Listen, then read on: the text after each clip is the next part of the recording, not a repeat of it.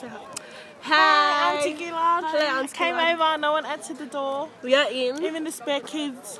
We're in Canberra. Even the spare keys to the house is not even under the mat. I think the security guard stole it. You should fire him. No, is it we're at the, your house? Your My other house, house? our Oh, house. Our house. Auntie Gillard. Yeah. with Neil With Uncle Neo and Where's Neo? Leah. and Auntie Lee. there they are. There they are. And the other friend. I forgot her name. I don't even know her. Anyways, um, We're here for a long Easter weekend Happy Easter, in Canberra. It's a very nice day. nice weather. Nice weather. Look at The it. weather. because this is Tongan time, we're Tongans, we arrived here just when it closes. But I'm Australian, Pretty shit. like Miss Gillard, Like your Auntie Gillard. Don't talk about your auntie like that. Don't call her a ringer.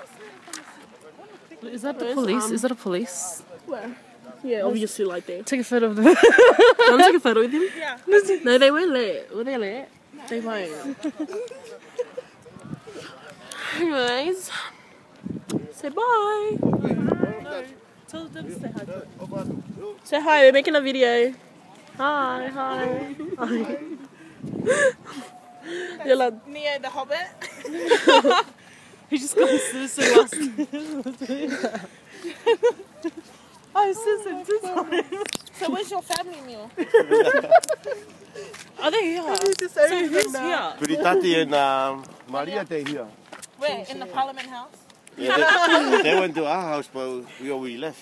well, tell them to go back Oh, I think they just came. The car Yeah. wasn't there, Yeah. so they went. Oh. liar, liar. I know. Why did they come they for? They came look for Petelon. So what? He's hungover. Wait, Let him what- be. Malia. He's with another girl. now. you know, she asked me where he was Friday night. I don't Serious? know.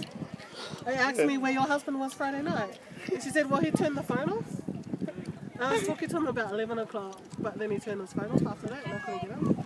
Maybe because he wants to drink in peace. That's a weird thing to ask. I know. So, well, they left here about 7 o'clock, so they probably got to Sydney about 11. but I don't know. Uh, that's what- that was like one of the first things she said when she got to come to the door. Where's my How are husband? you? How's your week? Where's my Talk to husband? the boys. Oh, you know. um, Did they go? Did they go with you? With him? The no, like um, Yeah. they lot dropped her off ages To the hospital, I think. She, On she, Tuesday. she reckoned that her mum was sick in hospital, got taken to an ambulance to hospital, and they needed to go back Monday night. Plus, the boys weren't working until Wednesday, so they're all going to go back.